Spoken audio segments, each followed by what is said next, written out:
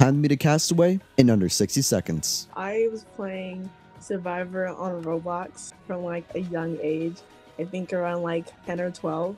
It like shut down at some point, so then I got introduced to Roblox Outlaster. And I'm like, hmm, let me just start watching the TV show. Maybe I like that better. And I got addicted to it and to watch the episodes every single day. Since this should probably be my first time doing like a Minecraft game event thing, first I'd probably start to get to know everyone, but then I'm gonna try to put all my work and strength into the game and then go back to talk with people more and try to get along with everyone. Why would people be inclined to watch you? I believe that I'm a really funny person.